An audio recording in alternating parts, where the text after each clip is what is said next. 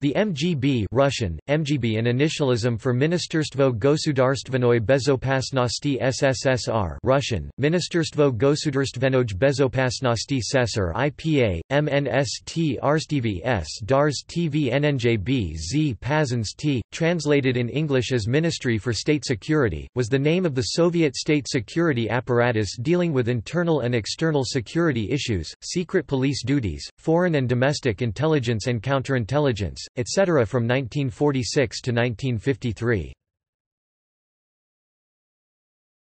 Topic: Origins of the MGB.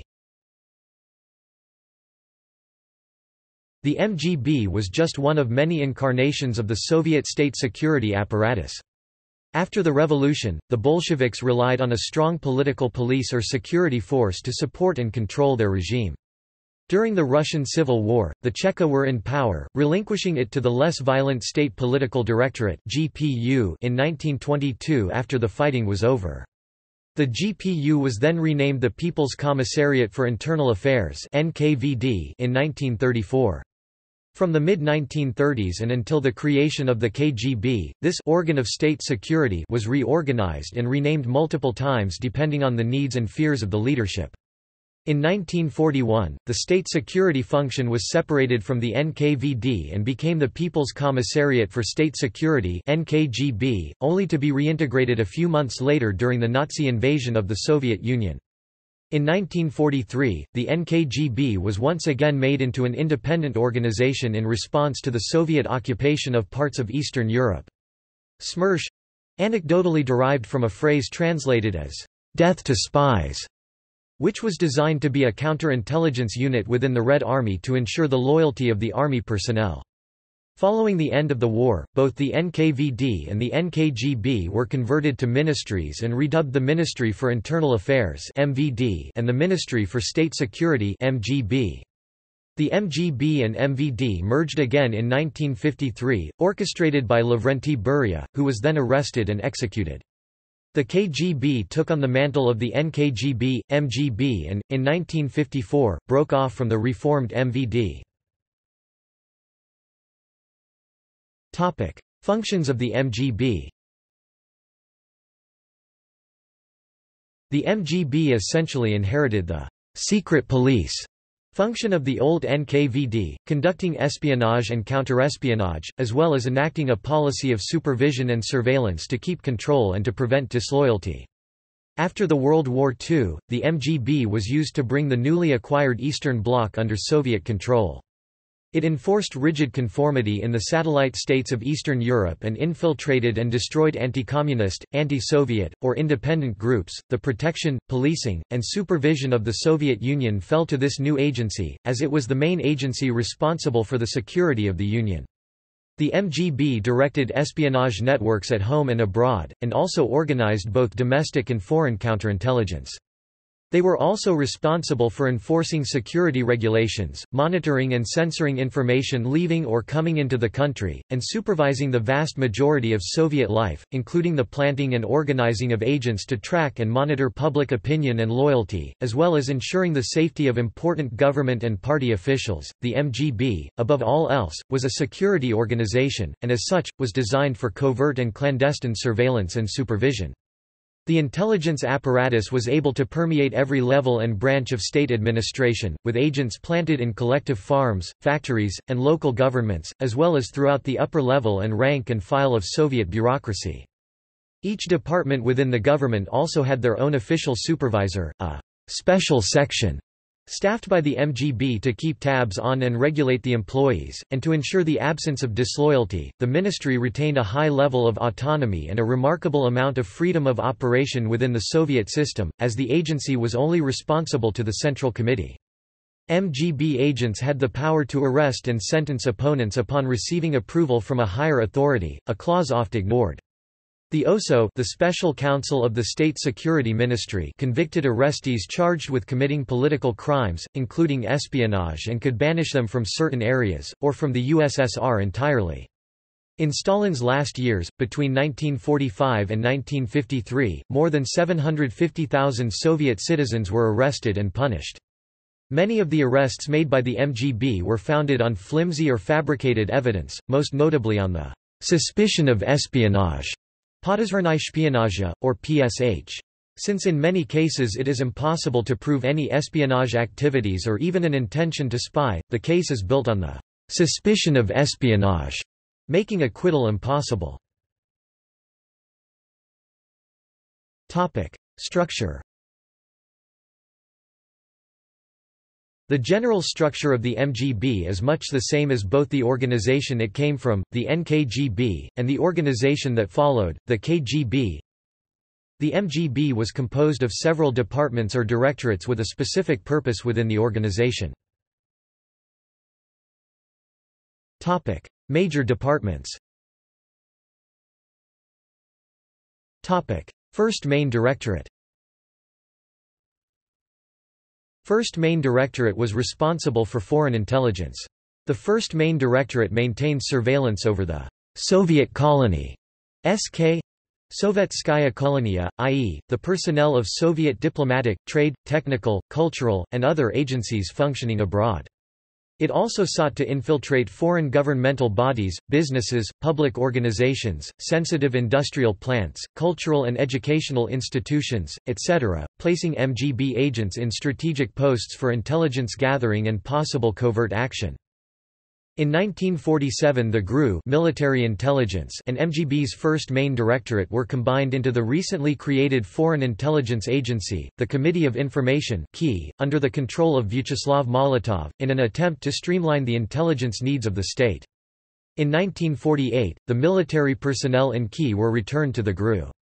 Key sections dealing with the new East Bloc and Soviet émigrés were returned to the MGB later that year. In 1951, the KI returned to the MGB, as a first main directorate of the Ministry of State Security. Second and third main directorates The second main directorate focused on domestic counterintelligence and acted as an internal security and political police force. The goal of this department was to combat foreign intelligence operations within the USSR and its territories. The second directorate worked mainly inside the country to combat foreign espionage and to study the forms and methods used by foreign intelligence services on the territory of the USSR. The work it did abroad aimed to organize operational technical intelligence, i.e., the investigation of the forms, working methods, and regulations of the intelligence, counterintelligence, and police and administrative organs of foreign countries. The third main directorate was concerned with military counterintelligence. It carried out many of the same tasks as SMERSH, which it absorbed, as it conducted political surveillance of armed forces. It relied heavily on the Army Special Section to ensure the loyalties of the soldiers and officers. The MGB operatives were used to supervise personnel and daily action, as well as to carry out counterintelligence operations. The Fifth Main Directorate The fifth main directorate evolved out of the main secret political administration.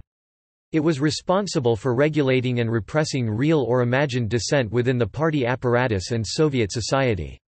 This involved supervising almost every aspect of Soviet life, including the intelligentsia, bureaucracy, general administrative agencies, cultural organizations, educational institutions, and even the party apparatus itself. They investigated the political reliability of the entire population of the Soviet Union, with particular attention to the party and Soviet apparatus, up to the highest leaders of the party and government. They also secretly supervised the activity of the entire administrative and economic apparatus of the state and all scientific, public, church, and other organizations. The goal was to hunt down deviations from the general line, opposition leanings within the party to ferret out and eliminate Bourgeois nationalism in the Soviet satellites, i.e., anti-Soviet movements under the guise of nationalism. Minor departments The Fourth Directorate At the beginning of the MGB, the Fourth Directorate was designed as a proto-terrorist force to combat the anti-Soviet underground, nationalist formations, and hostile elements. However, Viktor Abakumov dissolved this department in 1946, but kept the main players in a special service group so that they could continue with the same pattern of violence that the Fourth Directorate was known for. The group was also ultimately dissolved in 1949. Upon the destruction of the Fourth Directorate as a terrorist group, the department was transitioned into transportation security. It was responsible for the preparation and security of mobilization and transport. The department was also responsible for counterintelligence and surveillance operations within their transport programs. The Sixth Directorate